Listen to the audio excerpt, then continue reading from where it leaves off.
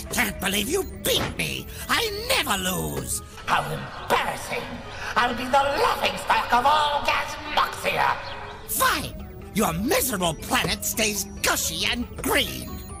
At least you still haven't gathered all my time relics. Until you've collected all of those and race me again, you'll never be able to claim you are the fastest. This won't be the last time you'll face Nitros Oxide. We will meet again.